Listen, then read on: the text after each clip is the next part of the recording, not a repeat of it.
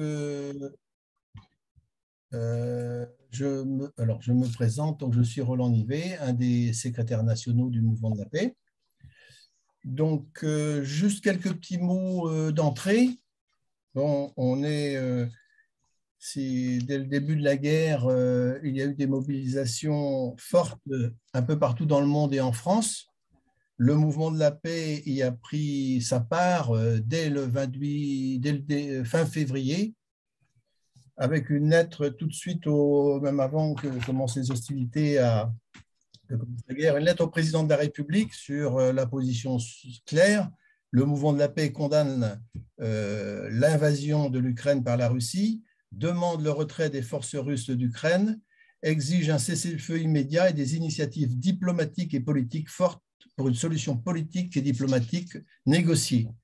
Donc, euh, on a eu les mobilisations que l'on sait, euh, un peu à travers le monde entier, et euh, on peut constater actuellement une certaine reflux de l'action, il faut être clair, et une mobilisation au niveau français comme au niveau international pas suffisante pour faire le poids nécessaire, euh, si on peut, euh, pour euh, trouver une solution politique. Donc, avant de commencer la discussion, alors, je rappelle qu'on a fait deux ou trois, débats déjà de cette manière-là, c'est-à-dire que la condamnation de la guerre et de l'agression, la recherche, la volonté d'avoir une solution politique pour éviter la dégradation et l'engrenage infernal d'une guerre qui pourrait durer, on a souhaité pendant le même temps, comme le disait Edgar Morin, condamner n'empêche pas de réfléchir euh, sur le processus qui nous a amenés ici. Et donc, on a fait une première conférence avec Bertrand Badi sur les causes de, ce processus et dans quelle situation on est au point de vue international. Et ensuite, avec Georges Corme, euh, ancien ministre euh, des finances du Liban, qui a écrit un, livre, des livres intéressants sur la question de la guerre et des relations internationales, et qui avait un regard un peu, euh, pas décalé, mais un peu pas européen sur la, sur, euh, sur la situation. Et donc, Daniel Durand, donc, vous avez pu, par de la présentation, ancien, qui est chercheur à, l'IDRP, l'Institut de recherche sur la paix, ancien secrétaire national du mouvement de la paix, et qui va, comme pour les autres, nous éclairer euh, parce que entre ceux qui sont sur le feu de l'action et de l'organisation, Daniel se situe dans ceux qui ont un peu de temps euh, pour réfléchir et formaliser leur, euh, leur réflexion, ce qu'on n'a pas toujours. voilà. Donc, je me permets quand même de rappeler quelques positions du mouvement de la paix, comme je viens de le faire dans la lettre au, au, président de la République, dans lequel nous disions dès le 28 janvier à partir de ces considérants, le mouvement de la paix regrette votre déclaration sur laquelle la guerre va durer, qui semble indiquer que vous ne croyez plus aux efforts nécessaires pour faire taire les armes et aboutir à une solution négociée au conflit en Ukraine. Pour notre part, nous préférons nous ranger sur le point de vue exprimé par, les médias par de nombreux diplomates, militaires ou experts des relations internationales, qui soulignent l'urgence de formuler des propositions diplomatiques et politiques ambitieuses pour trouver une issue négociée au conflit après avoir apprécié le fait que vous ayez euh, euh, essayé de maintenir des canaux de discussion avec les principaux acteurs du conflit, nous ne comprendrions pas que vous puissiez renoncer à utiliser l'ensemble des outils multilatéraux, tels que l'ONU et en Europe euh, l'OSCE, ou encore abandonner définitivement les accords de Minsk qui fournissent pourtant un des cadres d'une solution politique et diplomatique. Nous pensons qu'enfin, que vos responsabilités en tant que président du Conseil de l'Union européenne augmentent d'autant plus vos possibilités d'intervenir au plan international pour une solution politique négociée. Nous savons que la guerre entreprise de mort et de destruction n'apportera aucune solution aux problèmes posés. Il est donc urgent d'agir pour l'arrêt des combats, obtenir un cessez-le-feu, etc.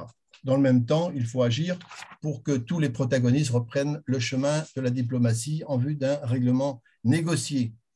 Et nous disions, notre proposition euh, nous demandons instamment que la France soit porteuse d'une proposition de paix pouvant s'articuler ainsi, obtenir un cessez-feu et l'arrêt de l'agression russe, mettre en œuvre ou revenir à l'esprit des accords de Minsk II de 2015 qui reposent sur un cessez-le-feu durable et sur le respect de la souveraineté et de l'intégrité de l'Ukraine et sur une solution d'autonomie pour les territoires des républiques autoproclamées du Donbass.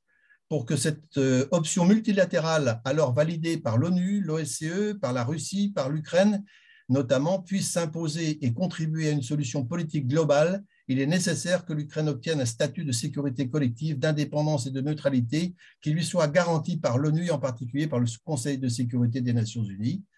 Une solution de ce type ou inspirée de ce type d'accord constituerait un pas positif dans un processus de négociation qui doit désormais s'inscrire dans le cadre de l'ONU, dans le respect des buts et des principes de la charte. Donc voilà, euh, nous appelions, donc, euh, je ne vais pas lire toute la lettre, mais euh, la France a joué un rôle diplomatique important. Et ensuite, le, le, 12 mars, avant les manifestations et la journée internationale d'action, nous avions reprécisé nos positions et en particulier appelé avec le collectif national des pour la paix à amplifier le mouvement de condamnation de la guerre, à accroître la solidarité avec le peuple ukrainien et avec les acteurs de paix en Russie. Et nous nous félicitions de l'adoption en session extraordinaire d'urgence de l'ONU le 2 mars d'une résolution contre la guerre menée par la Russie en Ukraine par 141 voix pour 5 contre et 35 abstentions. Dans la période plus récente, au mois de mai, nous avons pris un autre communiqué, au-delà des communiqués appelant l'action, nous avons apporté notre soutien à l'appel du programme alimentaire mondial pour la réouverture des ports de la mer Noire alors que le monde fait face à une crise euh, humanitaire déjà grave. Donc en fait, euh, autrement, nous avons noué des relations avec les mouvements pacifistes aussi bien en Russie qu'en Ukraine et nous préparons actuellement avec ces deux mouvements une conférence de presse commune vers le 26 juin euh, pour avoir une expression commune, avec les mouvements de paix également euh, des États-Unis. Donc, euh, notre priorité aujourd'hui, c'est vraiment de relancer l'action parce qu'on a constaté qu'il y a quand même une difficulté à créer un front mondial contre la guerre et au niveau européen. Et les rendez-vous au niveau international ne manquent pas, puisque au-delà de notre volonté d'arrêter la guerre et de trouver une solution, il y a des rendez-vous prochainement euh, du 13 au 17 juin à Vienne, où pour la première fois tous les États qui ont signé le traité d'interdiction des armes nucléaires se réunissent pour voir comment mettre en œuvre euh, ce traité. Bon, la question des armes nucléaires, on y reviendra, et, le rôle des armes nucléaires comme euh, soi-disant vecteur de, sécurité dans la crise aujourd'hui. Puis, dans la semaine prochaine, il va y avoir euh, le, sommet, euh, le, marché mondial des armements à Eurosatori, les ventes d'armes. Puis, le 25 juin, en Allemagne, en Bavière, le contre-sommet du G7, ce groupe des, sept États qui entendent un peu imposer un certain point de vue au monde, et y compris à l'ONU. Et ensuite, le 26 juin, une, grande manifestation pour faire un contre-sommet euh, de l'OTAN à Madrid, euh, qui est des actions qui vont nous mobiliser. Ceci dit, notre mobilisation principale aujourd'hui, c'est de faire en sorte qu'en France, partout, dans tous les départements, nous nous exprimions sur ces points-là, c'est-à-dire la guerre n'est pas la solution, une solution politique, mais également l'arrêt des ventes d'armes, que la France signe le traité d'interdiction des armes nucléaires et qu'elle prenne ses distances vis-à-vis -vis de l'OTAN par rapport à, d'autres solutions comme la question du multilatéralisme avec l'ONU, mais également la sécurité commune en Europe avec tous les États européens, y inclut, il faut le redire, dans une situation comme celle-ci, la construction de la paix en Europe ne peut se construire également avec les Russes, avec la Russie, pardon. Voilà. Et donc, je dirais que pour les pacifistes russes et ukrainiens, on leur a accordé un espace sur notre site Internet. Voilà. Excusez-moi d'avoir peut-être été un peu long, mais pense que c'est logique que le mouvement de la paix organise ça pour permettre à chacun de se faire une opinion euh, sur la situation et de confronter des opinions, comme je le disais au départ, comme le disait Edgar Morin, on peut être contre la guerre, euh, pour la paix, condamner l'agression, mais ça n'empêche pas de réfléchir. Et donc, merci à Daniel de nous aider euh, dans, cette réflexion sur le processus qui nous a amené à, à cette situation et peut-être les solutions pour en sortir. Merci, la parole est à toi, Daniel. Eh bien, bonjour, euh, merci Roland pour ton accueil et pour euh, m'avoir invité à m'exprimer, à donner mon, point de vue euh, sur la situation en Ukraine et en Europe.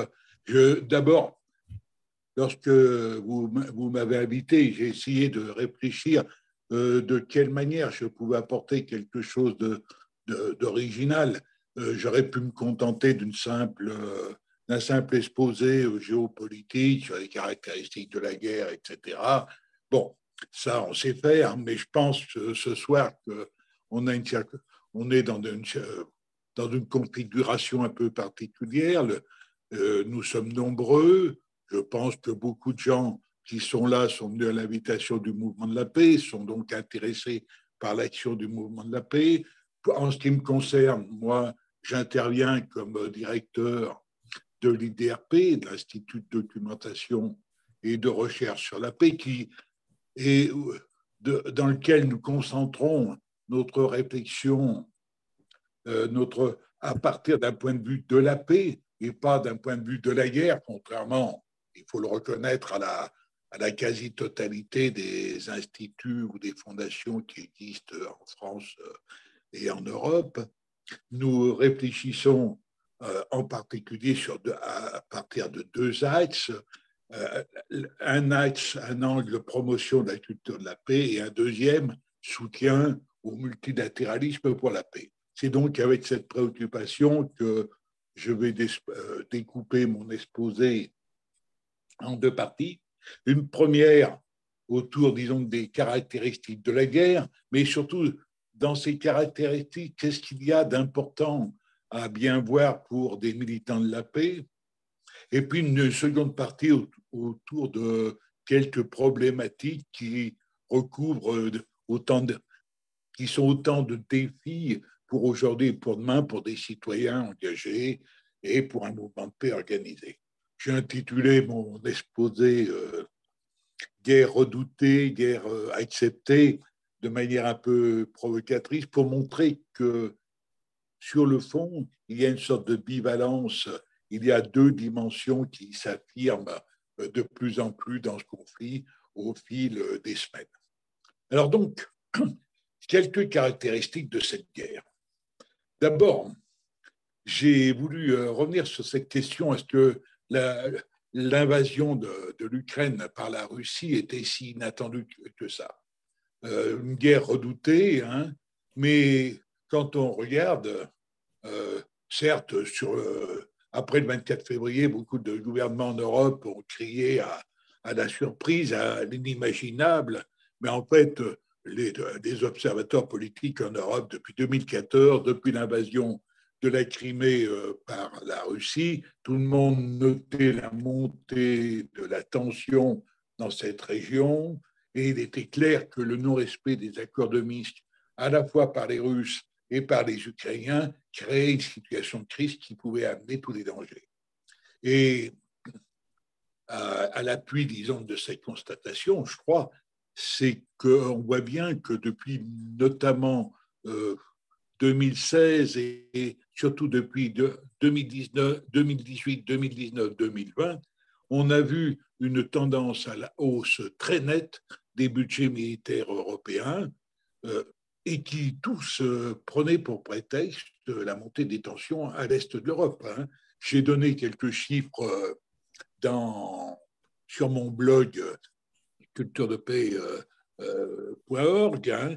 Euh, entre 2019 et 2021, les, dépenses militaires du Royaume-Uni ont augmenté de, de 15% en moyenne, celle de la France, idem, celle de l'Allemagne de, aussi. Alors, euh, toutes atteignent, hein, le Royaume-Uni atteint les 60, dépasse les 60 millions de, milliards de dollars par an, la France est à 59 euh, milliards de dollars, l'Allemagne à 56 milliards. Hein. alors, si on rajoute cela aux augmentations énormes qu'a subi le budget américain, qui est passé, qui est euh, monté euh, à plus de 800 milliards, on voit bien qu'il y avait une tendance nette qui s'amorçait à la militarisation sur le continent européen et est la même chose du budget euh, de l'armée russe. Il en est même de la question de, de l'adhésion de l'Ukraine à l'OTAN. C'était une, question qui venait de plus en plus, qui montait en puissance depuis qu'en 2017, le Parlement euh, ukrainien avait voté une résolution qui en faisait un, objectif prioritaire de la politique ukrainienne. Alors donc la guerre était pas si inattendue que cela. Est-ce qu'au niveau des mouvements de paix, on avait cette même euh, perception, cette même euh, anticipation c'est certainement un, débat. Hein. et surtout, à travers ces risques qui montaient, est-ce qu'on avait commencé à réfléchir aux problèmes nouveaux qu'allait soulever ce type de conflit en Europe? Je pense qu'on euh, n'en était pas là. Hein. Le, deuxième point que, sur, lequel je veux intervenir dans les caractéristiques, c'est la question de l'illégalité de cette guerre la Russie envahit donc euh, l'Ukraine le 24 février. C'est clair que la responsabilité de cette guerre est due au gouvernement de Vladimir, Poutine. Hein. Il n'y a, je crois, aucune euh, équivoque. Il faut être absolument euh, carré là-dessus. C'est une agression qui est complètement illégale selon la Charte des Nations Unies, hein, comme vous le savez. Mais en même temps, il faut voir hein, que ce n'est pas une première. Il hein. ne faut pas découvrir, euh, ce n'est pas une première pour les Russes, avec euh, l'invasion de la Crimée ou celle en 2014 ou celle de la Géorgie en 2009. Mais euh, dans ceux qui crient au scandale, beaucoup n'ont pas les mains très propres. Hein. L'invasion de l'Irak en 2003 était complètement illégale. Hein, elle s'est faite contre euh, la volonté des Nations Unies, des pays du monde. L'occupation de l'Afghanistan dans les premiers mois l'était aussi. Il a fallu une astuce de revoter une résolution a posteriori des Nations Unies pour euh, justifier euh, la présence américaine en Afghanistan.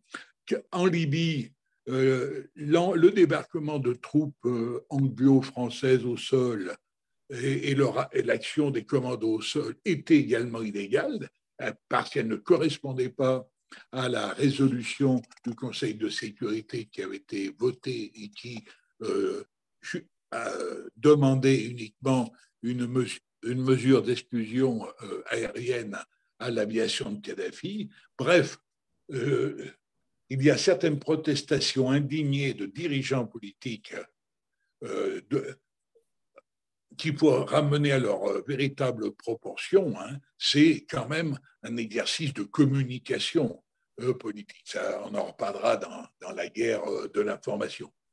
Mais je pense que si l'on veut, disons que être bien assis hein, sur ses deux pieds dans, cette, dans, la, lutte pour la paix, il faut que la question de l'illégalité de cette guerre reste le point de repère principal.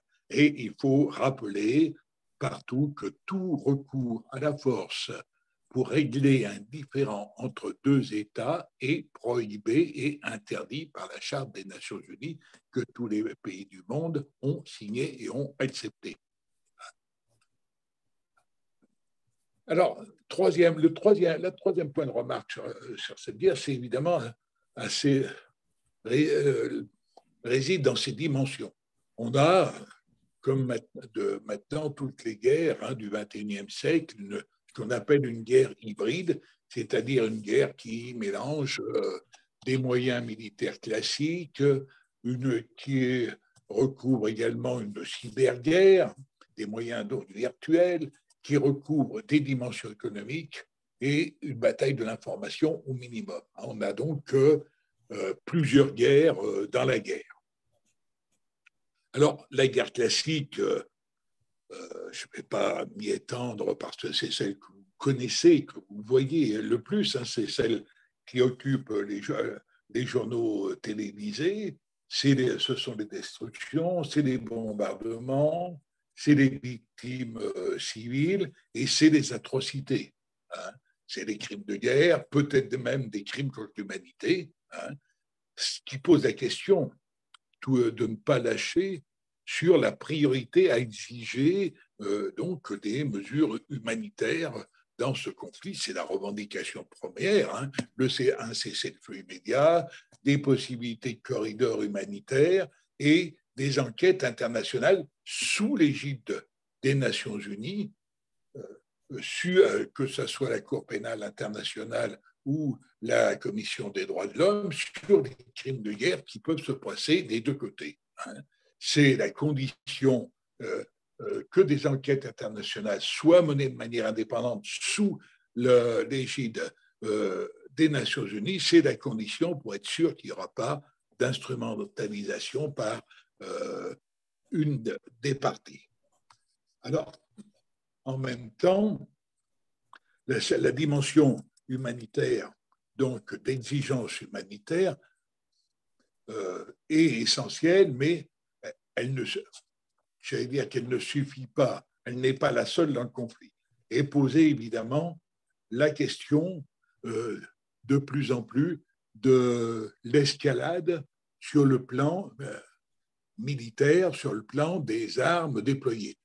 Elle a été d'abord évidemment par les Russes, hein, qui ont jeté des centaines de chars, des, moyens énormes, des dizaines de milliers d'hommes euh, dans la bataille.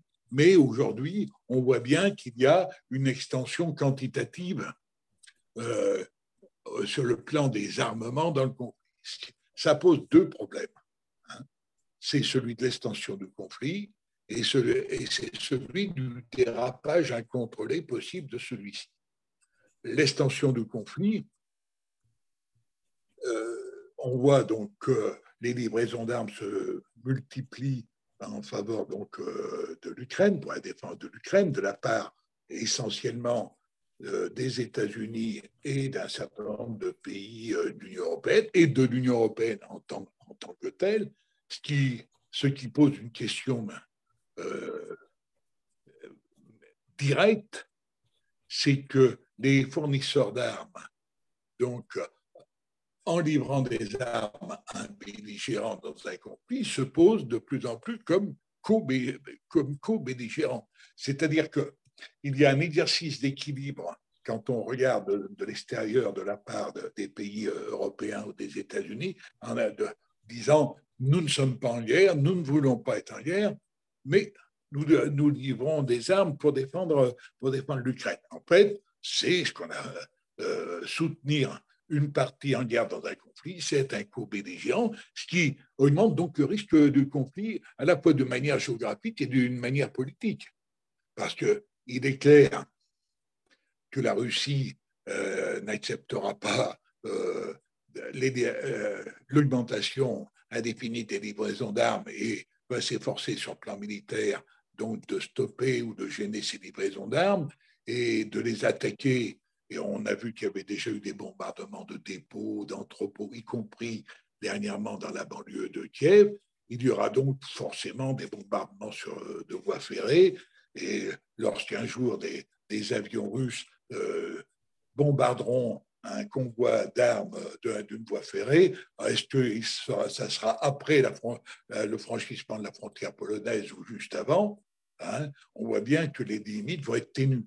On arrive même cette, cette semaine à une, quelque chose qui ressemble à, qui frôle l'absurde.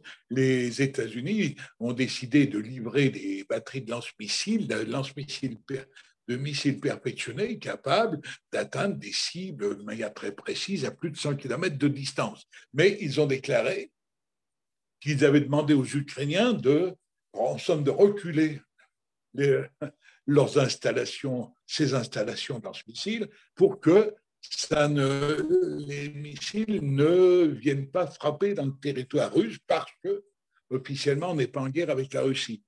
Euh, ce qui veut dire qu'il suffit qu'une unité militaire ukrainienne décide de régler euh, au maximum euh, et de choisir une cible au maximum pour qu'on ait des missiles qui tombent en territoire russe et on aura donc ensuite les, des enchaînements qu'on peut prévoir. C'est-à-dire qu'on est donc dans une position euh, très euh, fragile et très dangereuse de risque d'extension euh, du conflit. Je distingue extension et dérapage du conflit parce que on a donc une ce qui crée un des éléments nouveaux dans ce conflit par rapport aux guerres qui ont eu lieu depuis 30 ans, depuis les années 90, y compris en Europe, en ex-Yougoslavie, c'est que un des protagonistes, la Russie, est une puissance nucléaire. Et les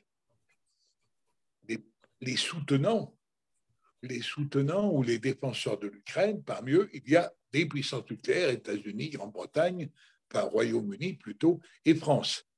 Euh, ce qui fait, alors ce qui est donc euh, à ce moment-là rentre en jeu de manière supplémentaire, c'est le risque du dérapage, soit accidentel, rappelons-nous des fausses des exemples de fausses alertes qu'on connaît depuis euh, que l'arme nucléaire existe, et notamment dans les années 70-80. Or, il faut savoir que même, euh, même après, bien que nous ne soyons plus en période de guerre froide, les dispositifs d'alerte nucléaire, les seuils d'alerte, c'est-à-dire le temps de réponse automatique des armes nucléaires lorsqu'il y a eu un incident signalé n'a pratiquement pas bougé, n'a pratiquement pas été réduit. Et pour un, des, missiles intercontinentaux et autres, il est de l'ordre de 20 ou 25 minutes. C'est-à-dire qu'on est toujours dans une situation où on est à la merci de l'erreur d'interprétation, hein, de l'erreur d'interprétation d'un signal quelconque. En même temps, le risque de dérapage, il est lui aussi dans, euh, j'ai abordé cela dans une de mes contributions, il est aussi dans l'enchaînement, euh, dans les doctrines d'utilisation. Les doctrines d'utilisation de l'arme nucléaire reposent sur des appréciations de, des intérêts vitaux de chacune des parties. C'était donc elle décide en permanence euh,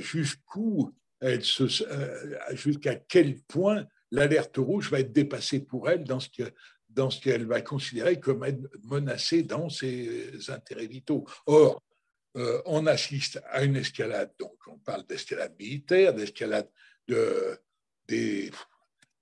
euh, sur le terrain dans la bataille euh, contre les fournitures d'armes. Il y a une escalade dans le vocabulaire. Hein, et euh, on voit des dirigeants politiques, notamment, on a vu des déclarations de Joe Biden très, très dures euh, en disant, euh, de Poutine, ce type est un salaud, etc.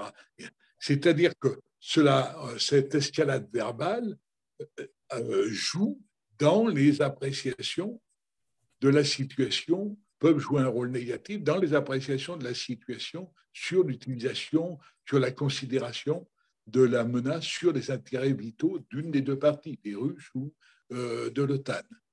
Donc, on est dans une situation qui reste donc dangereuse, à la limite de, de l'incontrôlable, du fait de ce phénomène euh, qu'aujourd'hui, nous avons euh, des puissances nucléaires qui sont engagées dans, dans cet affrontement. Alors, une annexe sur les, euh, une, remarque annexe, malgré tout, autour des questions de du débat sur les livraisons d'armes euh, et tout, euh, c'est que ça pose en fait la question de la légalité de la réponse à la force. Il y a eu une agression étatique de la par la Russie il y a quelle, quelle doit être la réponse de la communauté internationale. Or, la Charte des Nations Unies est claire, la réponse, à une agression ne peut pas être celle d'un pays seul, sauf, elle peut être celle d'un pays seul euh, tant que le Conseil de sécurité ne s'est pas saisi de l'affaire. C'est or, là on a un problème, évidemment, c'est qu'on observe que le Conseil de sécurité peut être bloqué par le veto russe ou par le veto chinois.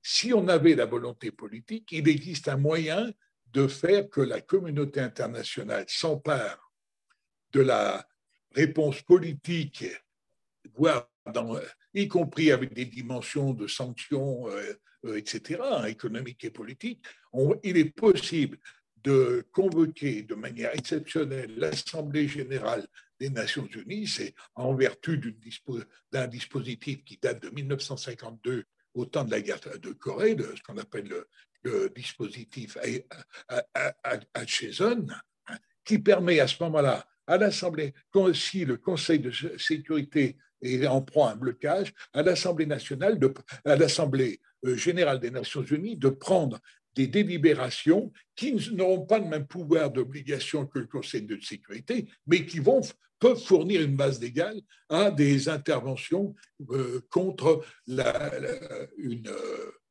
l'agression, la politique agressive d'un État.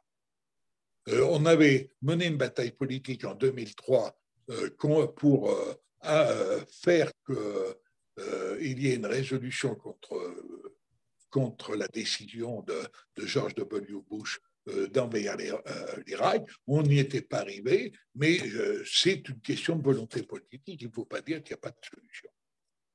Alors, je parle, je fais donc quelques ces remarques sur la guerre classique, sur les problèmes posés par cette guerre classique.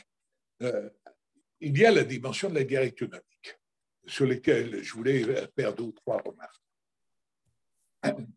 Le, ce qui est frappant, qui n'est pas nouveau, ça, on a déjà vu euh, des euh, sanctions économiques ou des boycotts décidés euh, dans des crises internationales dans le passé, mais ce qui est nouveau, c'est la rapidité avec laquelle, dès le lendemain, on peut dire, de l'agression russe, un certain nombre de pays ont décidé de prendre donc des mesures de sanctions pour faire pression contre la Russie ou pour qu'elle arrête la guerre. C'était le premier, c'était officiellement le premier euh, motif invoqué, ce qui pouvait se comprendre dans un premier temps, hein, et qui ensuite, disons que on a vu que de plus en plus, euh, euh, ces décisions ont été présentées comme destinées à punir donc la Russie de sa conduite scandaleuse. Alors, euh, je voulais quand même euh, faire euh, réfléchir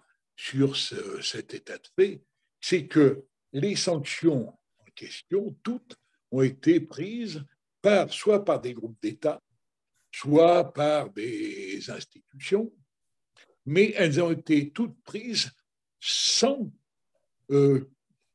base juridique claire, c'est-à-dire puisqu'elles ont je le disais tout à l'heure, été prise sans qu'il y ait de décision soit du Conseil de sécurité, soit de l'Assemblée euh, générale des Nations unies, comme ça a pu arriver dans le passé, ou ça a pu se faire euh, dans le passé. C'est-à-dire que euh, dans ce cas, ce sont ces sanctions, la légalité de ces sanctions est, discutable, hein, selon les, juristes, et surtout, elles n'ont aucun cadre elles n'ont aucun encadrement, c'est-à-dire elles n'ont pas de limite claire dans leur volume, dans leur durée, dans les conditions euh, dans lesquelles elles vont se lever, etc. Si bien que si on peut penser que dans un premier temps, elles pouvaient être justifiées du fait de la rapidité de l'agression russe, on peut se poser aujourd'hui la question, est-ce qu'il n'y a pas une dérive dans l'utilisation et dans les objectifs de ces, sanctions. C'est-à-dire que, est-ce qu'elles visent maintenant seulement à arrêter la guerre au plus vite ou est-ce qu'elles poursuivent maintenant euh, certaines d'entre elles, notamment qui sont de plus en plus de, moyen terme, voire de long terme, notamment sur le domaine énergétique, est-ce qu'elles ne visent pas des buts de plus long terme, euh, qui seraient par exemple de mener la guerre commerciale à la Russie sur le long terme, de ruiner la Russie, dans un but stratégique qui dépasse l'objet proprement dit, l'objet proprement d'arrêter la guerre. C'est-à-dire que est-ce qu'on est toujours dans des sanctions ou dans, encore une forme de justice ou une guerre économique qui ne devrait pas dire son nom? Je rappelle que quand euh, le ministre Le Maire avait utilisé le mot de, de guerre économique, il s'était fait recadrer dans les, dans les 24 heures. Hein, euh, par le président de la République parce que le, terme de guerre économique avait un sens bien particulier. Et ce qu'il faut remarquer, c'est que la guerre classique sur le plan juridique donc est très encadrée par le droit. Il y a le droit de la guerre et le droit dans la guerre. Autant la guerre économique a des contours très flous qui peuvent donc permettre toutes les manifestations. Donc, comment la question, comment revenir aux seuls objectifs euh, légaux qui peuvent être acceptables, c'est-à-dire arrêter la guerre, hein, obtenir un cessez-le-feu et des négociations euh, politiques. Euh, alors, un mot sur une autre composante de la guerre, hein, donc guerre militaire, guerre économique ou commerciale, c'est la question de la guerre de l'information. Autrefois, bon, c'est une notion qui a toujours existé. Hein. Euh, autrefois, on parlait de, propagande, hein. euh, donc la dimension n'est pas d'aujourd'hui. Mais euh, elle, a deux aspects nouveaux, à mon avis, dans le cas de la guerre en, Ukraine. Hein. C'est la question de la, proximité et la question de l'existence des réseaux sociaux la question de la, de, la proximité. La, question, la guerre, la guerre en, Ukraine, contrairement à toutes les précédentes, ce qui fait sa nouveauté, je pense, profonde, c'est qu'elle s'est vraiment installée dans le quotidien des Européens, des Français, des Européens, à la différence euh, des conflits euh, qu'on vient vivre, en euh, guerre en Syrie, etc., et des conflits euh, qu'on a connus des années 90 dans les Balkans, au Kosovo, en ex-Yougoslavie. Aujourd'hui, les gens ont découvert la guerre à tous les journaux télévisés, il y a la même imprégnation médiatique de la guerre en Ukraine qu'on a vécue pendant un an et demi avec la pandémie et le Covid. Hein, on a une, imprégnation médiatique euh, complète. Et donc, en gros, les gens voient la guerre, ont découvert la guerre en Europe avec des blancs, hein, des blonds ou des pas, blonds, mais enfin, euh, donc des gens comme nous, hein, on entend ça. et alors, euh, s'installe une sorte d'attitude un peu trouble, c'est-à-dire que la guerre devient pour une part une sorte de spectacle où on compte les points, on soutient les bons euh, contre le méchant. Et dans ce cadre, c'est les dimensions euh, morales, euh, voire moralisantes, prédominent. Hein. L'empathie pour les victimes est, grande, d'où l'importance du mouvement de solidarité, de soutien humanitaire. Il y a une sorte inévitablement d'idéalisation du gentil hein, et de diabolisation euh, du méchant. Et ça s'appuie évidemment par une certaine méconnaissance des, réalités. Hein. Euh, c'est le, bon, des informations euh, télévisées brutes qui forment, qui forment en somme l'opinion des gens. Hein. Et donc, quand je parle de méconnaissance des réalités, et euh, donc, c'est l'absence un peu de recul. Donc, les, notions comme les risques d'embrasement du conflit, la méconnaissance des armes modernes, j'ai entendu entendu des interviews euh, surprenantes. Hein. Euh, par exemple, une brave dame sortant du musée, du désarmement de Caen, je, me souviens de ça, disant mais bon, on fait pas assez, il faut y aller, il faut envoyer du monde oui, on ne lui a pas demandé, mais vous envoyez votre fils euh, comme ça au combat. Euh, voilà. C'est euh, le manque de connaissances donc des réalités d'un conflit et surtout, par exemple, comment on sort d'un conflit, comment on construit une issue, comment on construit une solution durable? Et ça, je pense que ça pèse sur les sanctions. Hein. Ça expliquait, je n'ai pas des sanctions économiques, ça expliquait qu'il y a eu des mesures euh, dans la société civile sous forme de boycott euh, euh, au niveau sportif, au niveau culturel, etc.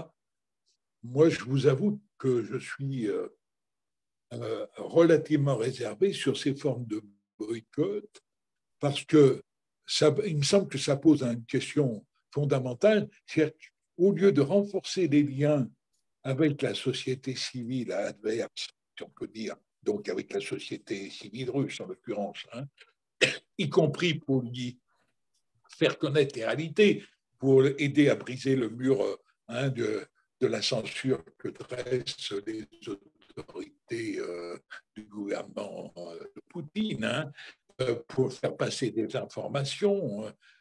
pour y compris réfléchir à des, à des réactions communes, on renforce, on referme cette société civile dans un ghetto et un tête-à-tête avec son pouvoir autoritaire ce n'est pas ma conception de l'action euh, militante et de la fraternité euh, militante nécessaire. Et ces boycotts euh, s'étendent au niveau culturel. bon, on ne joue plus le, le, répertoire musical russe, on débaptise même dans des restaurants des plats qui avaient un nom russe. On développe en somme une, une russophonie qui va plus dans le sens du, du rejet de l'autre, hein, euh, qui au lieu de d'être au niveau de la condamnation euh, du pouvoir responsable euh, de la guerre, englobe hein, un peuple, une civilisation dans le même anathème. Je pense qu'il y a à réfléchir là-dessus. Le deuxième élément dans la guerre, dans, la question de l'information qui me semble être fondamentalement nouveau, évidemment, c'est la place prise par les réseaux sociaux. On avait connu une première évolution de l'importance des moyens techniques en 2003, euh, des nouveaux moyens techniques en 2003 lors de la lutte contre la guerre d'Irak, avec le développement à l'époque hein, des mails, d'Internet, qui avaient permis des mobilisations, aux États-Unis. Les amis américains euh, à l'époque disaient qu'en trois mois, ils avaient réussi à mobiliser aussi vite que s'ils avaient fait en trois ans euh, contre la guerre du Vietnam. Euh, ah, euh, on, avait connu l'aspect positif du développement de la télévision par, par parabole. Hein.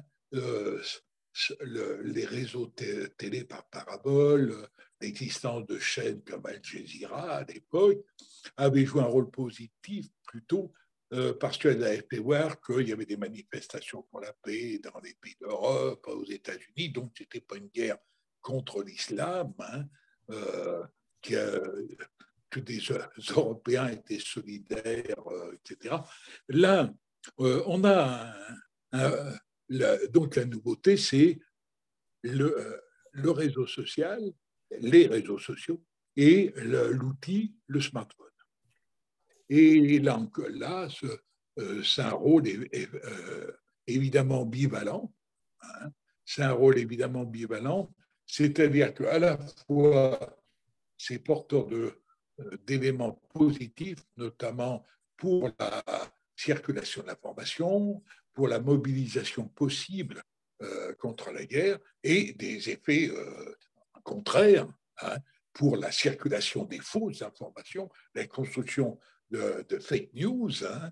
Bon, je ne parle pas, y compris des, du rôle militaire hein, que jouent, euh, jouer que jouent hein, les smartphones sur sa bataille, etc. On peut revenir dans la discussion. Il y a toute une série euh, que l'on ne pensait pas euh, de, de, choses auxquelles on peut faire servir des smartphones. Alors, il me semble que ça pose des questions nouvelles pour le, pour le mouvement de paix, c'est-à-dire qu'il y a une poussée beaucoup plus grande des fausses informations, hein, des fake news, euh, encore plus puisqu'il y a une fabrication continue, soit elle peut être cette fabrication étatique, hein. le gouvernement russe utilise euh, des salariés euh, hein, pour diffuser fausses informations, le gouvernement ukrainien a reçu le soutien militant ou payant de sociétés anglaises ou nord-européennes, etc., dans l'envoi d'informations et tout, mais tous les citoyens, chaque citoyen peut contribuer à la diffusion d'informations vraies euh, ou fausses. Donc, euh, la question de l'information, euh, cette bataille de l'information devient un enjeu, je dirais, ça pose certainement pour le mouvement de paix un défi de, de développer une contre une contre-offensive sur ce terrain, à la fois il faut faire connaître les sites qui démolissent les fausses informations. Il y en a un certain nombre. Hein. Il y a un projet, euh, un site, euh, un projet de, qui réunit plusieurs moyens d'information, plusieurs journaux. C'est le projet de facto. Hein, j'ai donné des, adresses sur mon blog, mais aussi ça pose même une question d'éducation populaire. C'est comment on peut participer, y compris pour les à former les militants, à les, à les prémunir euh, contre les fausses nouvelles, à décoder euh, les fausses nouvelles. Euh, moi, je pense que la question de l'éducation populaire doit être beaucoup plus réintégrée dans l'action militante pour la paix. J'ai vu par exemple que ICANN, le réseau ICANN avait décidé trois webinaires, trois donc, séances vidéo éducatives pour expliquer le traité d'interdiction euh, des armes nucléaires, je pense que c'est une, idée vraiment intéressante et, qu'il faut réfléchir. Ça pose un autre problème, toujours sur les. C'est comment revoir la présence maintenant euh, des, euh, des mouvements de paix sur les réseaux sociaux. On a commencé, on fait des choses, la preuve. On utilise la visioconférence pour développer des conférences et tout, mais je pense euh, qu'il y a une question de décentralisation qui est posée, parce que quand on va sur Twitter, quand on va sur Facebook, il n'y a pas beaucoup de présence euh, militante euh, des pacifistes ou des mouvements de paix. On a donc une question, certainement, bon, ce n'est pas moi d'y répondre ici, hein, mais on a intérêt à réfléchir à cela. Euh, ma deuxième partie, euh, je voudrais revenir sur, donc sur, deux ou trois grandes problématiques qui nous sont posées. Plus donc on sort de la description un peu. C'est la première problématique sur laquelle je voulais un peu insister, c'est la question de la fin du conflit. Parce que c'est des plus difficiles et euh, c'est celle où, sur laquelle il y a la bataille politique la plus la plus importante. Alors, euh, comment peser sur l'orientation de la, fin du conflit? On voit bien qu'il y a deux solutions, deux euh, solutions en débat aujourd'hui. C'est soit écraser l'autre, soit négocier avec l'autre. La première, donc écraser l'autre, est-ce qu'une est des deux parties peut écraser l'autre? On voit, les Russes euh, caressaient sûrement ce projet. On voit que leur plan, ils ont été obligés de changer leur plan. On les voit mal être capables de gagner plus de 20 ou 25% du territoire ukrainien comme ils le font maintenant, et surtout être capables ensuite de le garder, de le défendre, de l'administrer. Du côté ukrainien, euh, l'Ukraine reçoit de plus en plus d'armes modernes, etc. Ça lui permet ça devrait lui permettre d'infliger des, des, pertes plus importantes à l'armée russe. Et en même temps, il y a en face un, volume euh, de feu, un volume de feu militaire énorme. Et euh, tous les experts disent qu'il faudra des mois et des mois pour que l'Ukraine enregistre des progrès euh, significatifs. Alors, est-ce que on peut ceux qui euh, parient sur le sur l'écrasement de l'autre partie, donc en fait sur la victoire de l'Ukraine sur la Russie, est-ce qu'ils ne font pas bon marché de ce que subissent le peuple ukrainien? Euh, aujourd'hui Je pense que ça demande réflexion. Alors la négociation, euh, je crois que il faut bien être clair, tous les conflits se sont terminés par des accords de paix, sauf le cas de la grande, sauf le cas de, de la, grande, de la Deuxième Guerre mondiale. Hein. À un moment donné, on est euh, un conflit et doit trouver les, les, voies de la discussion politique et bien souvent du compromis qui doit être le plus acceptable possible. Et ça, c'est la responsabilité des États. Mais je crois qu'il y a une bataille à mener dans l'opinion pour expliquer ça il n'y a pas d'issue dans la poursuite indéfinie de la guerre, la poursuite indéfinie des populations. Il faut, euh, accepter qu'il y ait des intermédiaires qui soient capables de gagner la confiance des deux parties et qui soit capable de monter des solutions. Alors, je n'ai pas, j'ai émis des propositions dans mon dernier article. Hein. Moi, je dis que le, Conseil de sécurité pourrait euh, créer euh, un panel de personnalités qui seraient capables d'essayer de prendre en contact avec, les, deux parties pour euh, petit à petit construire des, moyens de discuter hein, et, des, et quoi discuter, bien sûr. Mais je pense que ça, c'est une, c'est un obstacle, un enjeu politique de taille. Et tout à l'heure, Roland Niver en a parlé. Je pense qu'il faut en faire une priorité. Une deuxième problématique, c'est comment on traite la question des modifications qui sont en train de se passer en Europe, à la fois sur le plan des États, sur le plan des politiques militaires et plus ou moins, à mon avis, aussi dans les têtes. Sur le plan, il y a, je pense, accéléré par euh, l'entrée en guerre de la Russie en Ukraine, il y a une remilitarisation de l'Union européenne. J'ai évoqué tout à l'heure la hausse des budgets. Euh, si l'on regarde les différentes déclarations, la majorité des pays européens s'orientent dans les deux ou trois ans à venir à monter leur budget à 2% du, PIB. Et il y a le, la, revitalisation de l'OTAN comme euh, organisation, donc euh, alliance capable de représenter la sécurité pour les populations, avec euh, donc l'élargissement à la Suède, à la Finlande, et il y a même un débat qui commence dans la presse suisse. Alors,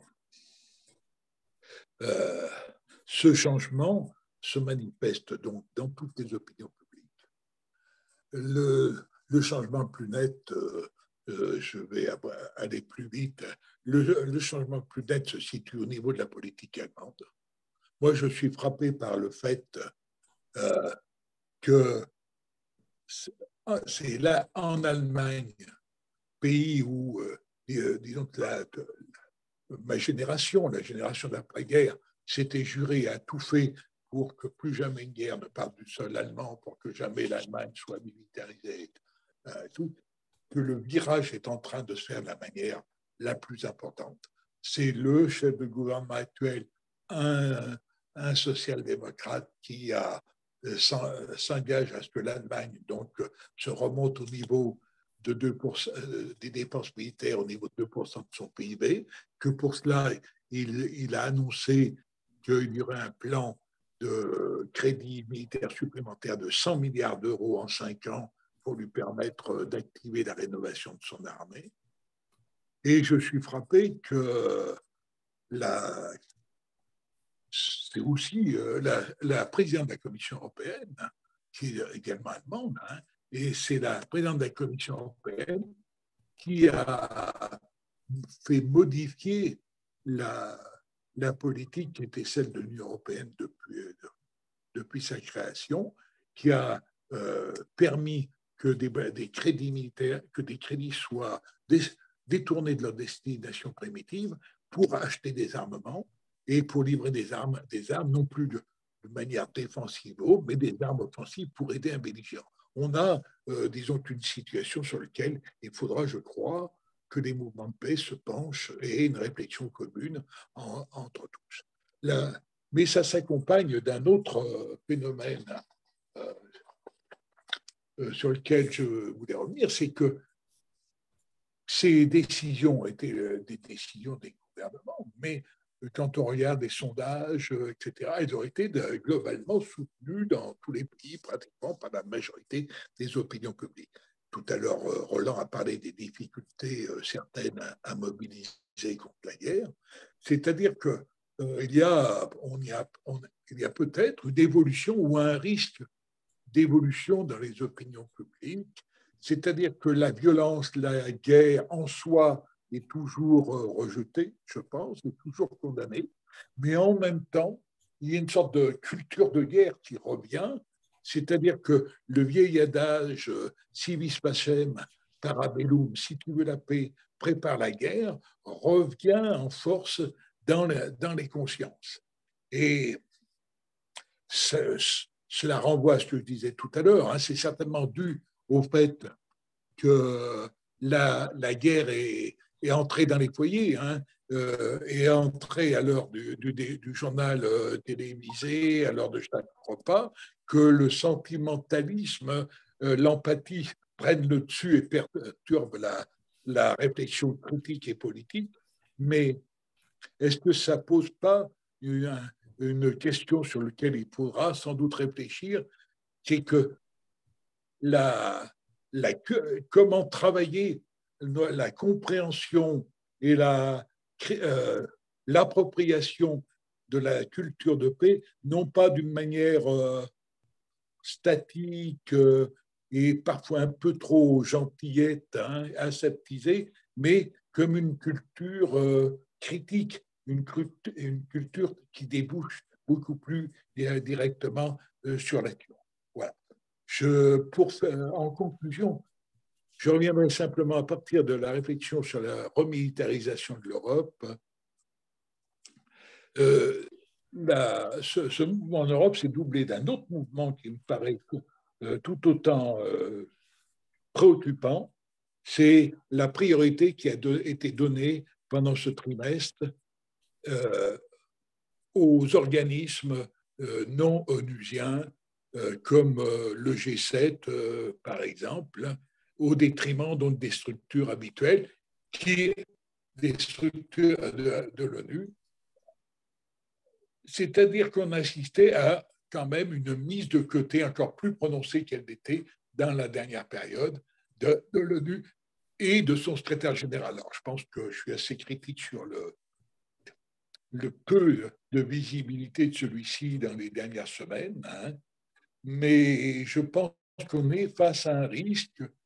Donc, euh, si, on ne retravaille pas euh, comment on développe l'information, l'action multilatéraliste, la pression politique sur le multilatéralisme au risque de renaissance de blocs, de politiques de, blocs, de, pôles de puissance, comme certains stratèges le disent, hein, euh, qui pourraient nous ramener, disons, à des situations euh, qu'on a connues euh, en, en, début du siècle. Je, je, voulais vous faire.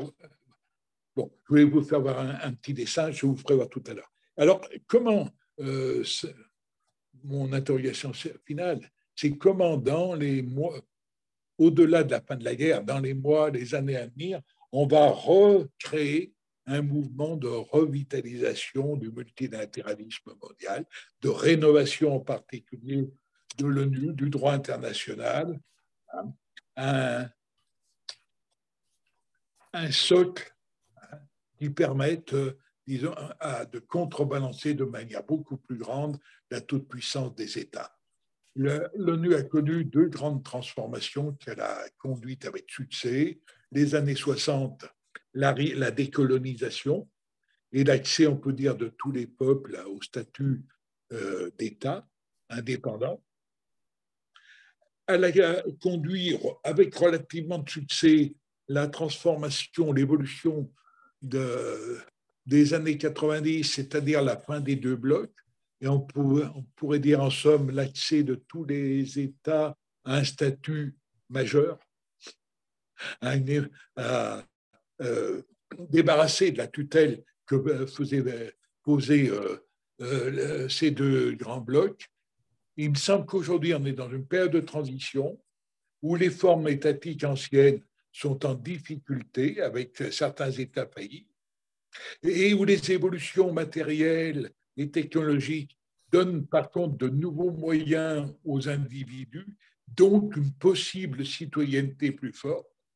Et en même temps, nous sommes, je le disais il y a deux minutes, à un moment où peuvent se reconstituer des blocs d'État et euh, nouer de, de, futurs, de futurs affrontements. Donc, comment relancer le débat sur la gouvernance du monde sur le fonctionnement et le pouvoir au sein des Nations Unies, sur la place des, des sociétés civiles, la place des citoyens? On aura peut-être la, peut-être notre génération qui aura la responsabilité de commencer de jeter les bases pour que le centenaire des Nations Unies, dans 25 ans, euh, soit marque une, troisième étape d'amélioration du monde, même si je pense qu'un certain nombre d'entre vous, d'entre nous ne seront plus là pour vivre euh, ce moment.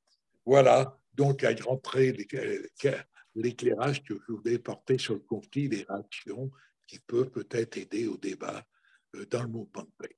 Merci. Merci Daniel. Donc on, donnera l'intégralité de ce débat sur le site du mouvement de la paix à consultation. Donc, comme on l'a dit, on, procédera des questions à partir de l'analyse des questions qui ont été posées sur la, liste de discussion. Donc, j'ai relevé, j'ai essayé de relever en écoutant en même temps les questions. Donc, je crois qu'il y, y, a, deux ou trois catégories. Hein. Bon, il y a certains qui, veulent absolument avoir un responsable, etc. On a condamné clairement l'agression de la Russie contre l'Ukraine d'un point de vue légal. Mais les, questions, c'est en gros, rien, euh, la guerre ne vient, ne vient pas de nulle part. C'est en gros sur comment c'est venu, quel processus. La guerre ne vient pas de nulle part. Euh, rien n'a été fait pour l'empêcher. La France n'a pas non plus pris d'initiative. Il y a ces questions qui viennent, c'est-à-dire sur l'avant euh, il y a également dans la même question, euh, comment se fait-il que l'OTAN n'a pas disparu en 1991 avec la chute du mur de Berlin euh, Ou, on a, il y a eu beaucoup de choses de loupées dans la volonté de l'intégration de la Russie d'entrer dans l'Union européenne ou du moins de se rapprocher de, de l'Union européenne. Ça, c'est des questions sur l'avant je vais essayer de retrouver quelque chose, s'il y a d'autres que j'ai. Euh, ensuite, euh, il y a la question, euh, oui, le refus de répondre aux demandes de la Russie après 1991, au début du, 20, du 21e siècle. La deuxième série de questions, c'est sur les, les, propositions, y compris celles qu'on a fait en tant que mouvement de la paix, de dire il faut revenir à l'esprit des accords de Minsk donc, il y a des, intervenants qui disent Ah, mais les accords de Minsk, c'est comme Munich euh, pour empêcher, euh, euh, pour ne pas résister militairement au nazisme. c'est presque de la collaboration et ces choses-là. C'est une question qui est posée. et ensuite, les questions, c'est en fait sur la troisième partie quand même, c'est euh, la, France n'a rien fait, donc elle pose la question comment se fait-il que depuis le début, il n'y a pas vraiment de solution diplomatique? Alors moi, je rajouterai la question, y compris après la réunion de tous les, ministres et chefs d'État, je crois, à, Versailles, que rien n'est jamais sorti sur des solutions. Aucune solution, sauf celle de, la force. Bon. Euh, et donc, euh, vient la question, l'ONU est-elle la bonne institution? euh, de ce qui pose la question du multilatéralisme. Euh, voilà en gros les trois séries de questions. Je les ai sériées un peu comme ça. Avant, euh, les solutions de crise, les solutions de sortie de crise et, quel rôle de l'ONU. certains disant c'est dépassé, d'autres disant c'est pas plus mauvais qu'ailleurs. Est-ce que Daniel, tu peux Oui, je veux bien. Alors, euh, concernant l'avant, c'est logique de se poser la question euh, pourquoi on en est arrivé là, comment on, en est arrivé là. Donc, euh, il faut, je crois, pas hésiter à, avoir une lecture critique des dernières décennies, en même temps, en voyant que on, sera à mi-chemin de l'histoire. Hein, et euh, du présent qu'on est en train de construire. il est clair qu'il y a eu un débat à la fin de la guerre froide. Euh, le, la réaction, c'était quand même la défaite d'un camp par un autre, du camp de l'Est par le camp de l'Ouest. Et vous connaissez la, devise euh, hein, malheur au vaincu, et c'est euh, ce qui euh, la réflexion de court terme, certes, mais qui, s'est petit à petit imposée.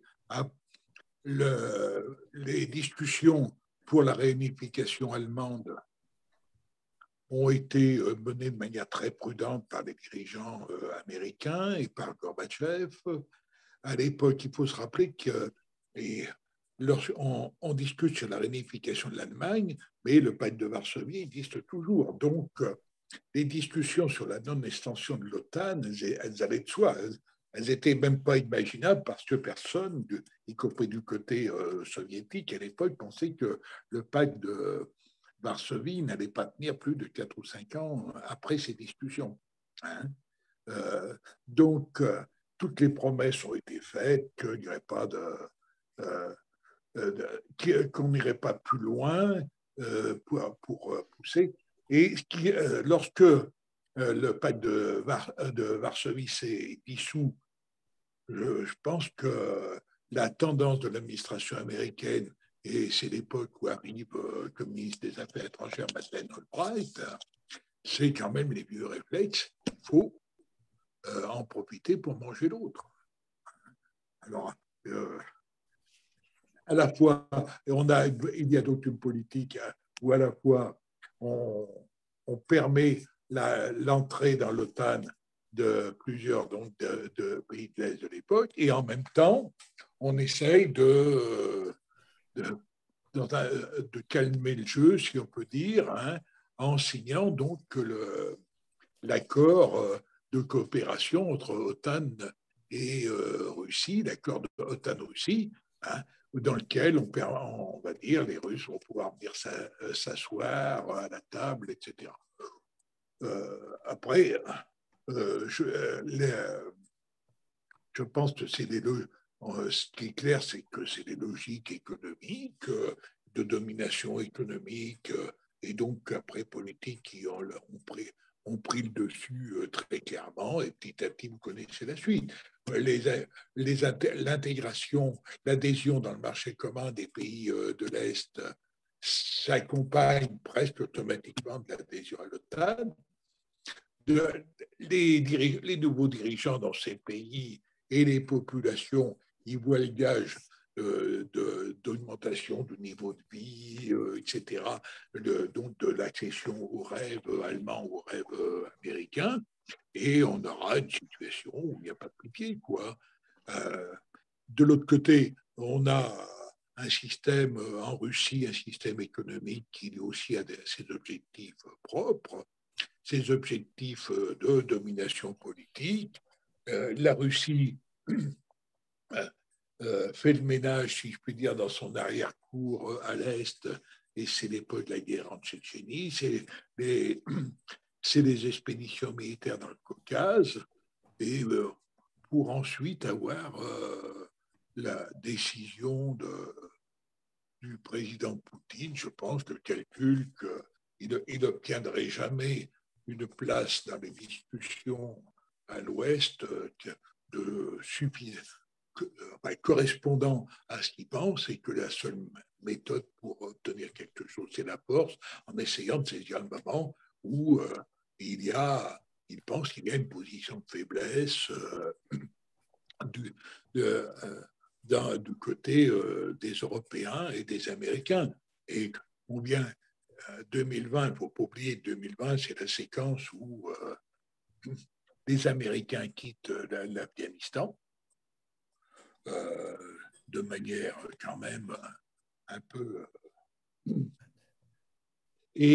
où la France, euh, de fait, euh, est plus ou moins écartée euh, de son champ d'action en Afrique. Donc, je, pense qu'il y a une analyse de la situation internationale qui est faite par les, Russes qui étaient erronés sur les, les faiblesses du camp occidental et sur la capacité des pays occidentaux à, se à refaire jouer le, le réflexe anti-russe euh, de renouer en somme des, du réflexe et de recréer un camp occidental, surtout que ça coïncide avec l'arrivée euh, à la présidence des États-Unis de Joe Biden, d'un homme donc qui, est, qui connaît bien le jeu diplomatique. Hein.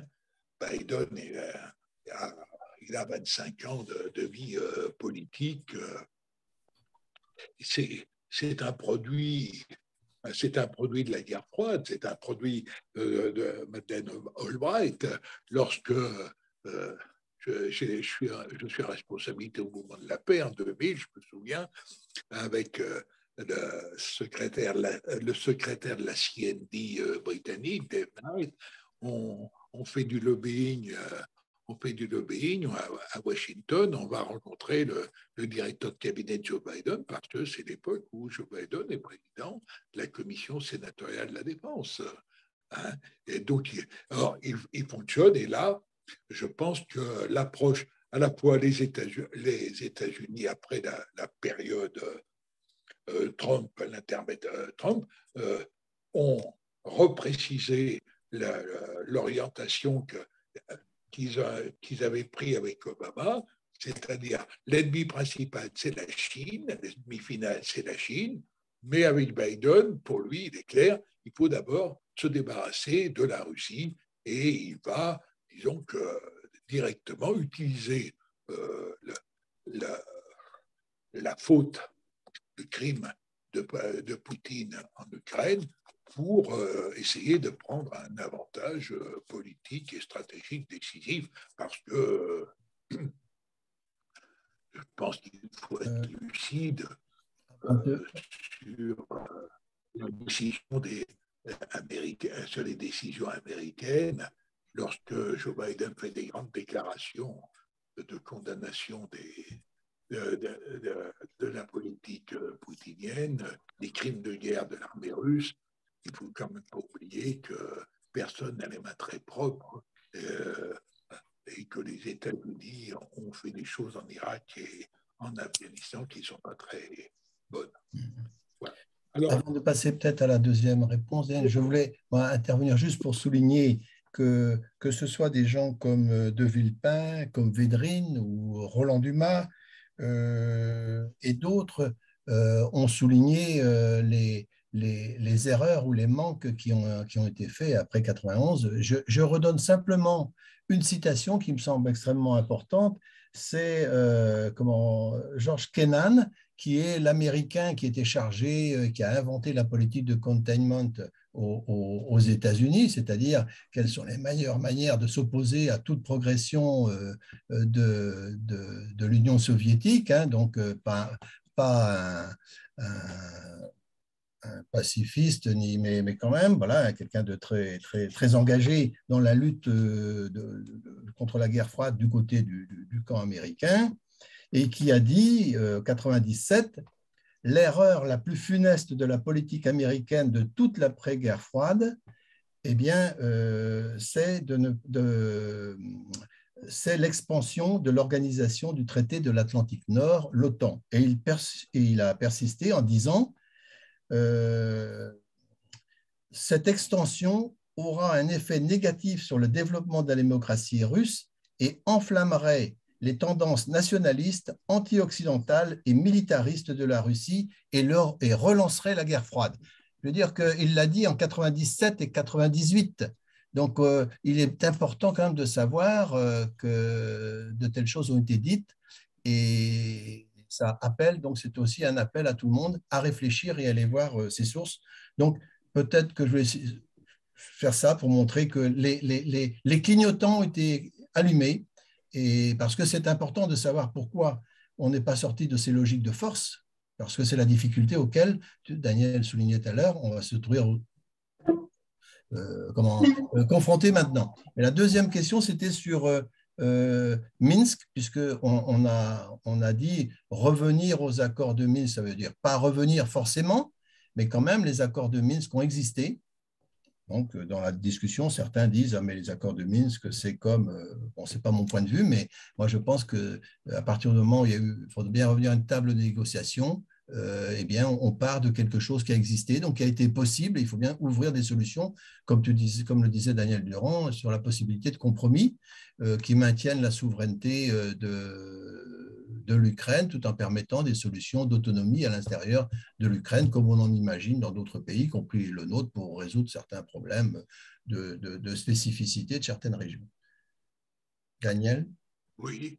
Ben, je pense que les, accords de Minsk ont été le résultat donc, du compromis en, 2014. Ils n'ont pas été in, comme tout accord politique. Après, chacun, chacune des deux parties a essayé de voir ce qui était avantageux pour elle et ce qui ne l'était pas. Et euh, il y a la question a, été, c'est qu'il n'y a, pas eu de prévu, disons, de dispositif politique d'accompagnement qui, permet, qui permis de faire pression pour que les partis les appliquent positivement. Et que, donc, de ce fait, hein, de ce fait, eh bien, chacune des deux parties, euh, soit volontairement, donc comme les Russes euh, ont décidé de ne pas appliquer, euh, de ne pas jouer le jeu comme ils auraient dû le faire, soit du côté ukrainien, un certain nombre de soutiens occidentaux du, des, gouvernements ukrainiens, et notamment après 2017, ont été encouragés à ne pas, à pas le, soutenir. Alors, ils, ont le mérite d'avoir été signés à un moment, d'avoir été. Ils constituent en somme une balise. Hein. Donc, dans une discussion politique, ils, vont servir certainement à reprendre des points. Il n'y aura pas de retour, à mon avis, aux accords de Minsk, mais euh, ils peuvent servir à reprendre des points pour trouver une solution provisoire pour le Donbass euh, et, pour les partis euh, russophones. Hein. mais quelle que soit la solution, de toute façon, quelle que soit le compromis, pardon, pas la solution. Le compromis, la solution, c'est quand ça réussit. Hein. Quel que soit le compromis élaboré, il faut qu'il y ait un, un dispositif, un comité d'accompagnement, un comité de surveillance euh, qui permette de, faire euh, appliquer à peu près ces accords. je prends un exemple dans, la tête, hein, les accords concernant l'ex-Yougoslavie, les accords de Dayton, donc euh, qui ont été conclus ont été très critiqués parce qu'ils étaient, ils étaient insuffisants sur un certain nombre de points, mais le fait qu'ils aient une aient qu'un certain nombre de pays soient chargés de veiller à leur application a permis globalement qu'ils soient appliqués en, partie et donc de créer une solution, de geler une situation euh, qui était euh, largement aussi épineuse à l'époque celle qui existe entre l'Ukraine et la Russie. Mais la question, c'est la volonté politique. Est-ce que, là, moi, euh, ce qui, nous pose problème, c'est qu'il y a formation, en fait, il y a, je dirais presque fossilisation de deux camps, en deux camps. Donc, est-ce que dans cette situation, il y, a, euh, il y aura une prise de conscience, euh, la crainte de l'éclatement et tout, qui euh, permettra euh, qu'il y ait euh, que les plus grandes puissances, et notamment les principaux pays de l'Union européenne, décident de geler la, la situation d'Ukraine. Voilà. Mais alors, il faudrait que ça corresponde aussi à une pression de l'opinion publique en Europe. Je pense que c'est, on l'a pas gagné, quoi. Hein, je voudrais dire deux mots. Oui, deux comme tu veux, relancer. Non, non, vas-y, Daniel. Oui. Euh, alors après, sur la, sur la, question sur la France, hein, je crois, hein, la position de la France, je n'en ai pas parlé, euh, parce que euh, en soi, c'est un débat. Hein, c'est un débat qui demande un peu de temps. je pense que, personnellement, on arrive à la fin du mandat du président Emmanuel Macron comme président du Conseil européen je pense que le moment va venir de faire une analyse, euh, une, analyse critique, quoi, normale, hein, euh, de, ce, de ces six mois d'exercice. Euh, j'ai commencé d'y travailler. Personnellement, j'ai une vue très réservée hein, sur l'action de la France et l'action du président Macron pendant, pendant ces six mois de, de présidence à la tête de l'Union européenne. Euh, ça me fait même poser des questions hein, sur la pertinence d'avoir un chef d'État euh, exercer une, fonction collective ou collégiale de cette manière, hein, alors qu'il est lui-même dans une période électorale de renouvellement de, son mandat. Euh, je ne sais pas si c'est une solution très adéquate. Hein. Euh, je ne suis pas sûr que certains des comportements du président Macron n'aient pas été quand même euh, sous la pression de ses propres préoccupations personnelles, électorales, de renouvellement. C'est-à-dire que moi, je reproche, dans l'état de mes réflexions, moi, je reprocherais quand même à Emmanuel Macron d'avoir fait beaucoup d'images hein, son, pour apparaître comme euh, chef de guerre, comme euh, homme fort, y compris le, système euh, du téléphone avec Vladimir Poutine, dont on ne voyait pas bien le pourquoi, le, but, les finalités de ces échanges téléphoniques. donc, en somme, pour construire une image plutôt que d'aboutir à des solutions concrètes. Et J'évoquais tout à l'heure la personnalité de la présidente de la Commission européenne, Ursula von Linden. Euh, J'ai un peu l'impression qu'elle a eu un peu les mains libres, euh, en somme, pour prendre des décisions, euh, alors que moi, dans mon esprit, euh, le, et le président de la République, le, le président de la République française, exerçant la présidence du Conseil de l'Europe, euh, et représente le, volet élu, le volet des politiques, alors que les commissaires européens, pour moi, hein, mais c'est mes réticences sur la construction, la machinerie européenne, euh, pour moi, les commissaires européens restent des technocrates nommés.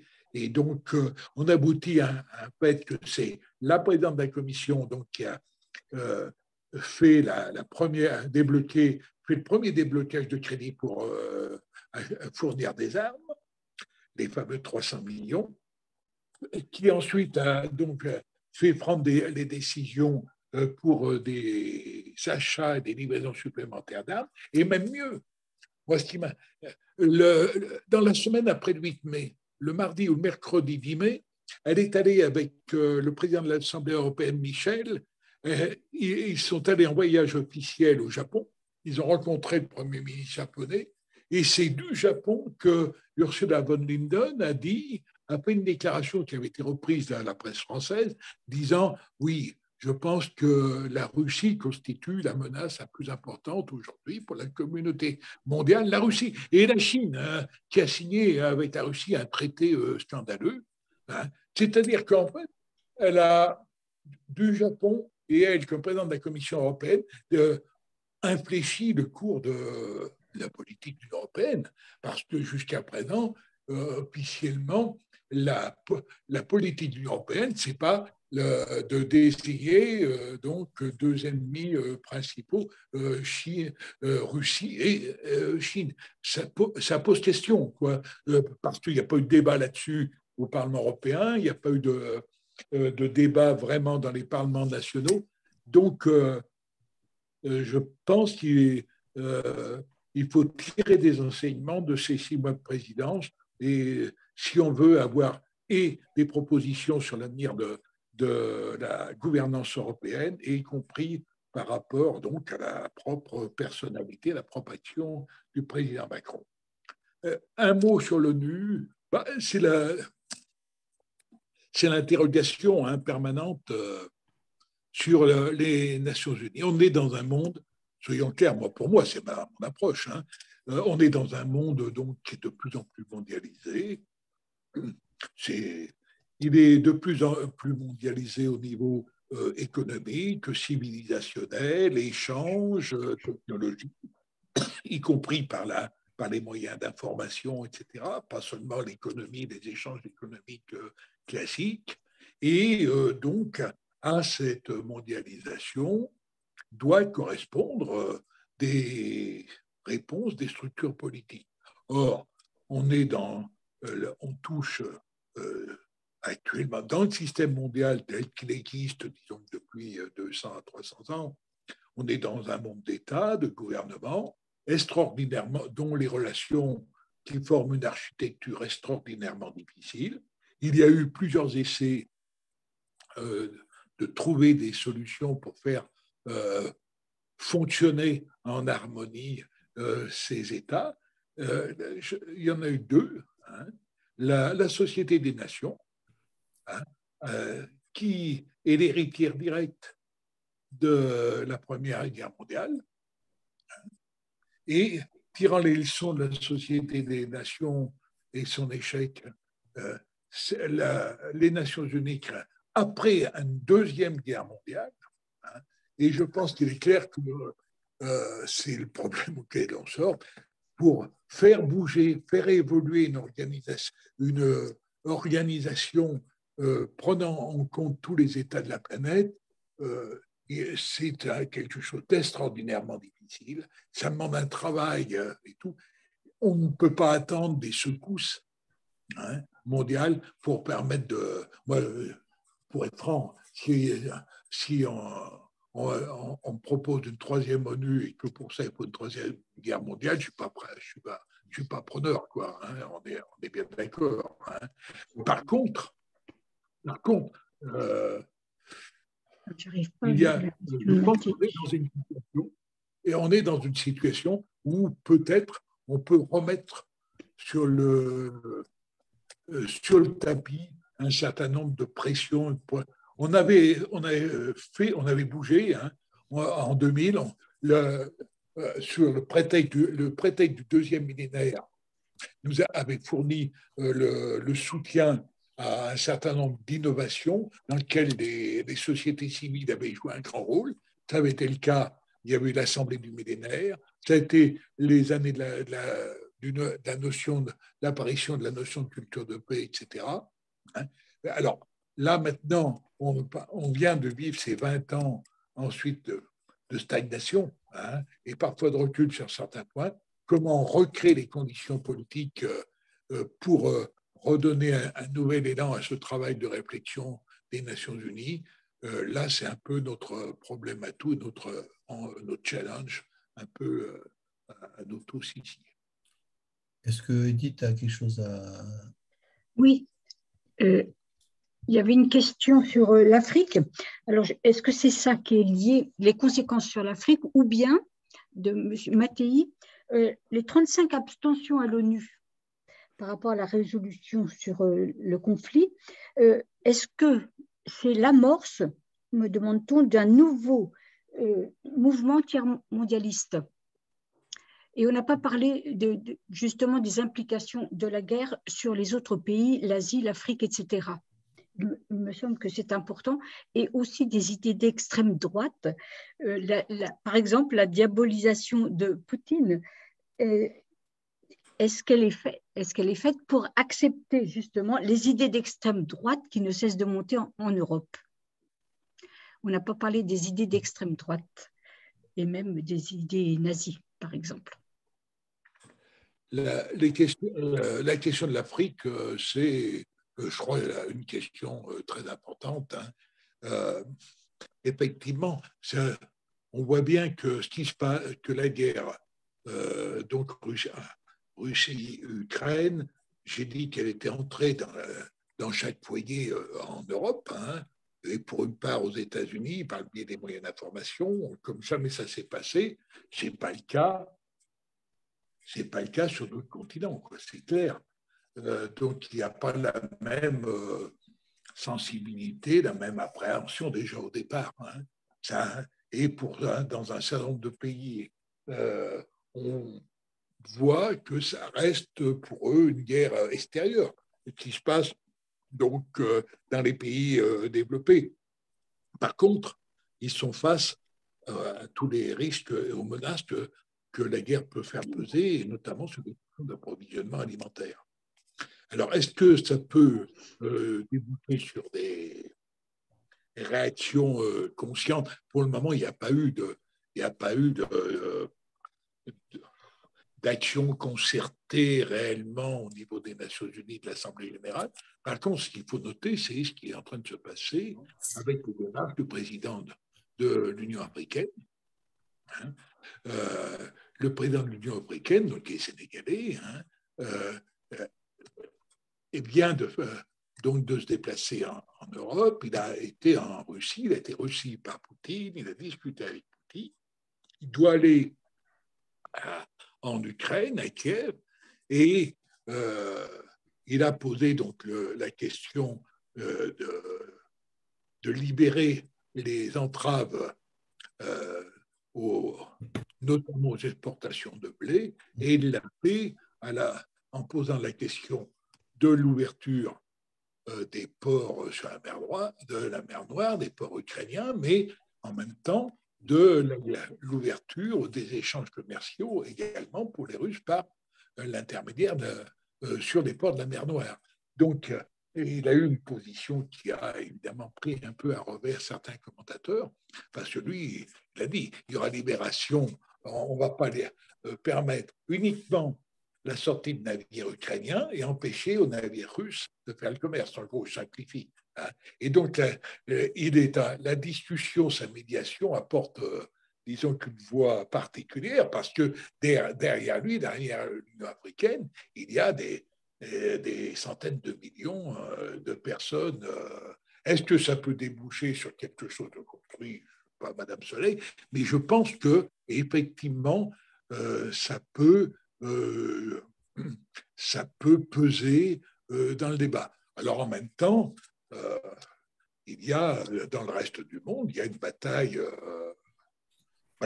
d'idées diplomatiques, etc. par exemple, on parle du renforcement de l'OTAN en Europe, mais il y a une une offensive diplomatique depuis euh, l'année dernière qui s'est accélérée de la part des États-Unis pour essayer de former des coalitions, euh, un front, euh, et là avec une, cible, hein, c'est le positionnement contre la Chine. Et vous savez que les États-Unis ont réussi à réanimer une sorte d'alliance hein, comprenant les États-Unis, l'Inde, la Corée du Sud et le Japon, le Quad, hein, euh, qui, euh, en somme, ferait, un contrepoids, euh, un contrepoids en Asie du Sud-Est. Alors, là, lorsqu'on, je, je, pense qu'il faut avoir donc une vue, prendre, prendre du recul sur l'évolution du monde. C'est-à-dire que le, ce qui se passe en Europe est, est très dangereux et, et, porteur de danger. On peut, l'hypothèse du dérapage d'une troisième guerre mondiale n'est pas complètement un scénario euh, hein, euh, irréaliste. Il faut bien et en même temps, ce qui se passe en Europe a des conséquences partout dans le monde, bien sûr, mais en même temps ne représente pas ce qui se passe dans le monde complètement. La situation telle qu'elle est vécue dans le monde. Ça, ça, ça ne parle pas hein, aux, questions qui sont posées de santé, de pandémie, d'éducation, euh, etc., qui sont posées en Afrique, en, Amérique, du, en Amérique du Sud ou dans, dans une partie euh, de, de l'Asie euh, du, Sud-Est. Hein. Voilà. Hein. Edith, je peux. On, on conclut? Je voudrais dire deux, ou trois petits mots. Euh, une chose qui m'a bien. Enfin, euh, l'intervention sur le fait que les sanctions n'ont aucune base légale me semble quelque chose que tu as apporté là qui est extrêmement important, parce que ça montre bien les dérèglements totaux. Là, on est dans, le, on est dans une certaine euh, une vie internationale de cow-boy au lieu d'être dans le respect des règles internationales. Et, ça, c'est vrai qu'il faudrait peut-être. Alors, euh, moi, je pense quand même que, en fait, quand on, écrivait au président de la République, on lui disait qu'il fallait euh, que la France soit porteuse d'une œuvre de paix dans l'intérêt des peuples d'Europe, du monde entier et tout d'abord du peuple d'Ukraine. Et on disait une telle attitude de la France témoignerait d'un véritable courage et fournirait l'occasion de sortir des logiques de puissance et de domination pour revenir à la construction de la paix dans le cadre multilatéral créé par la Charte des Nations Unies mais aussi par les résolutions des Nations Unies sur la culture de la paix et les objectifs du programme, du, objectifs du développement durable. En fait, euh, on l'a dit dans plusieurs communiqués, pour en finir, Poutine a utilisé les mêmes règles qui ont prévalu depuis la chute du mur de Berlin, dont tu as signé, euh, que ce soit en, Irak, en Irak avec quand même, euh, avec quand même de l'ordre de 850 000 morts. Et donc, ça aurait été quelque chose d'extraordinaire si la France avait vraiment jouer un rôle pour essayer de sortir de cette logique. Mais euh, d'un autre côté, c'est vrai, je l'ai dit, tu l'as dit, on n'a peut-être pas, au niveau des opinions publiques, soutenu non plus, ni posé la question avec suffisamment de force de la, de la fin des blocs militaires après 1991 et on ne peut pas dire qu'on est. Bon, il y a eu des manifestations quand même. Hein. On, se rappelle, on était à Strasbourg et on a reçu quand même pas mal de, gaz lacrymogènes, etc. Et puis, il y a aussi une autre chose qu'il ne faut pas passer de mon point de vue sous silence qui m'est revenu, peut-être me trompe, mais dans le non-référendum de l'Europe, il y avait une partie sur la question de la paix et de la sécurité en Europe qui n'était pas du tout négligeable hein, dans, les prises de position euh, des citoyens hein, et qui a été balayée puisque. Euh, on, sait le sort qui a été donné ou, non. Mais moi, je pense quand même qu'il n'y a, pas eu assez de, pression de l'opinion publique pour que ça parte dans la bonne direction. Et donc, c'est les logiques de puissance. C'est pour ça que je pense que le G7, je reviens donc, je pense, nous pensons euh, que le, le, fait d'être présent au G7 en Allemagne est une question importante. Je dis d'ailleurs, s'il y a des militants ici qui sont volontaires pour y aller, euh, je pense que c'est bien qu'on on y aille avec euh, notre volonté de paix et de rapports de, dans le monde qui ne soient pas gérés uniquement par les rapports des puissances ou des sept plus puissants qui vont diriger et ensuite aller euh, discuter où ils veulent ou imposer leur point de vue aux Nations Unies.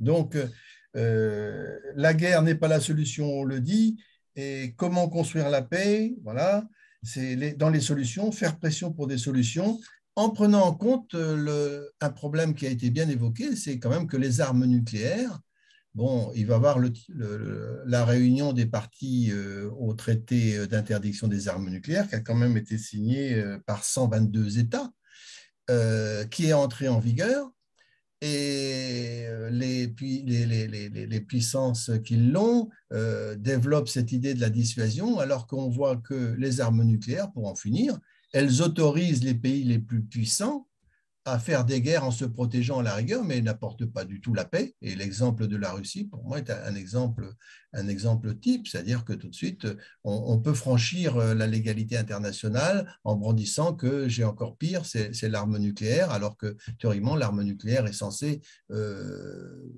être un facteur de, dissuasion des conflits. Or, en fait, euh, bon, il, il n'en est rien. Donc, moi, je, pour les militants, en tout cas, qui sont là, euh, il y a une chose qui est évidente, c'est que même si l'aspiration à la paix est largement partagée par les peuples et les Français, les mouvements organisés pour porter ces solutions ne sont insuffisants et euh, même le, portage politique est insuffisant. C'est vraiment l'opinion publique qui doit rentrer dans le jeu.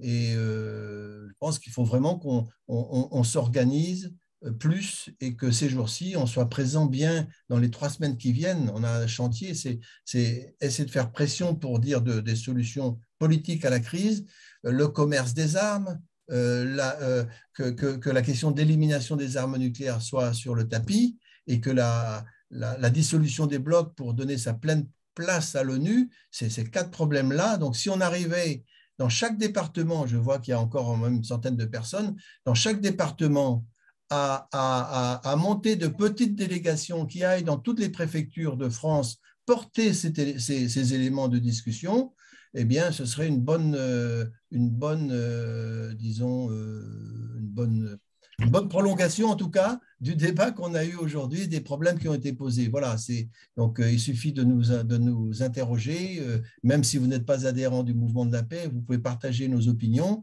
et euh, faire en sorte que vous soyez parmi les quatre ou cinq dans votre département qui vont initier des délégations pour dire qu'on veut que la guerre arrête le plus vite possible, que je veux rappeler quand même un chiffre avant de partir, celui-là, il m'a toujours interrogé, c'est 2113 milliards de dépenses d'armement euh, en 2021 et le budget des opérations pour la paix des Nations Unies tourne autour de 8 milliards.